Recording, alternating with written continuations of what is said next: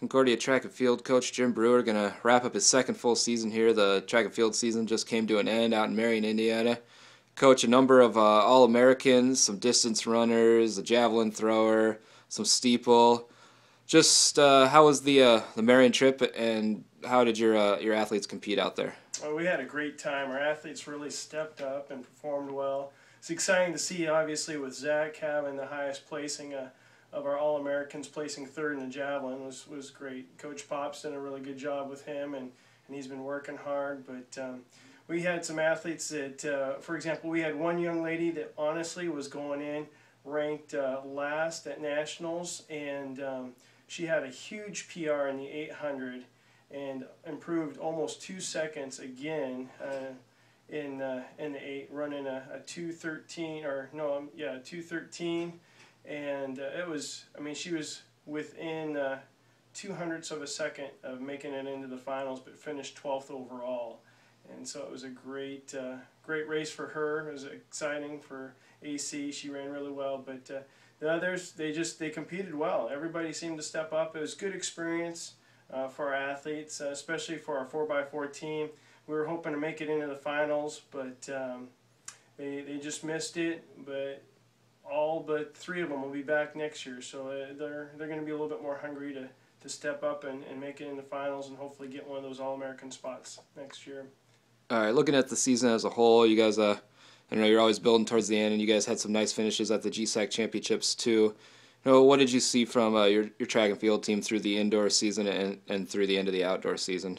Well, we just continue to see um, improvements. I mean, the athletes just continue to, to make some great progress, making some strong leaps. I mean, you, especially when you compare last year to this year. I mean, last year we had a total of three All Americans, and this year we had a total of nine. So that's a that's a big increase. But you know, we saw three All Americans in uh, in the indoor season, and then we ended up getting four in the outdoor.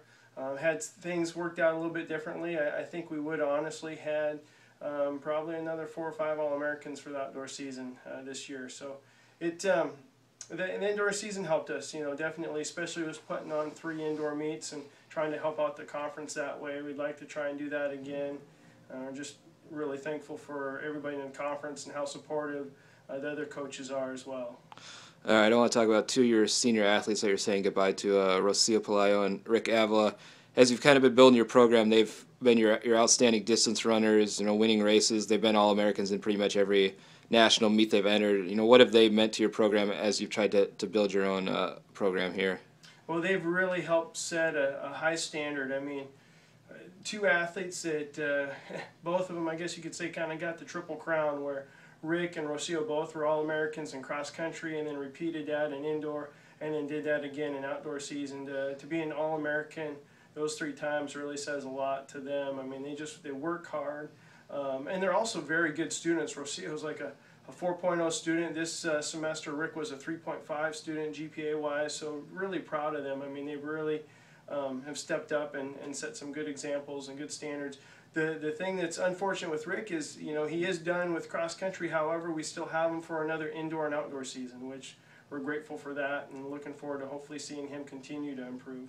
All right, and as you enter your third season, you know, trying to add more of your athletes and, and shape more of your program, you know, what are you looking forward to uh, heading into next year? Well, hopefully we'll just continue to make progress, you know, and, and become more and more competitive within our conference and, and nationwide as well. That's really one of our goals. But uh, to continue to make it a, a fun, respectable program where our athletes are, are really doing a good job of contributing to the community here on campus and, and hopefully beyond as well. All right. Well, the, the Concordia program is definitely becoming more noticeable on the national stage. More All Americans, more top finishes. So, congratulations, coach, on a on a great year, and we'll look forward to uh, continue to build uh, into next year. Great. Thank you.